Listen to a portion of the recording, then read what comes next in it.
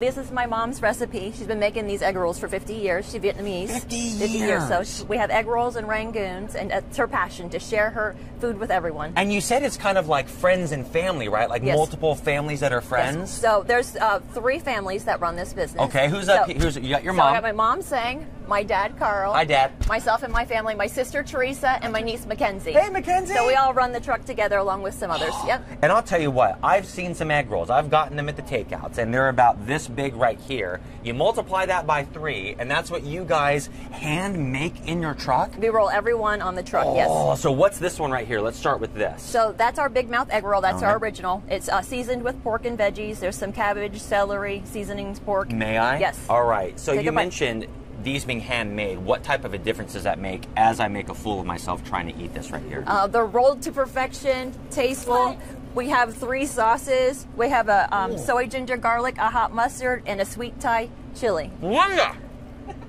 I have never, I'm sorry I'm eating, talking with my mouth full. I've never tasted an egg roll so fresh.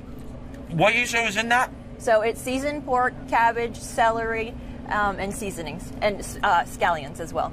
Listen, I, I say this rarely because we love everyone in Central Ohio.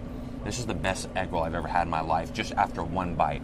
Awesome. Oh my Glad goodness! And that's not the only thing you have. What's over here? My wife's gonna love this. So we have cream cheese rangoon. So it's cream cheese and scallions with our homemade soy ginger garlic sauce. So it's kind of sweet and salty. We also have our apple pie rangoon. So it's an apple pie filling uh, rolled in our crispy crunchy wonton with cinnamon sugar, caramel, and a dollop of whipped Oh, cream. I gotta take And one of those are super too. good as well. So you got the savory and you got the, The sweet, yes. Oh, oh, oh, oh. And so this is our combo. You can get the combo at the festival. So it's an egg roll and two rangoons. You can get either the cream cheese or the apple pie rangoons or a variety of each. Mom, come over here.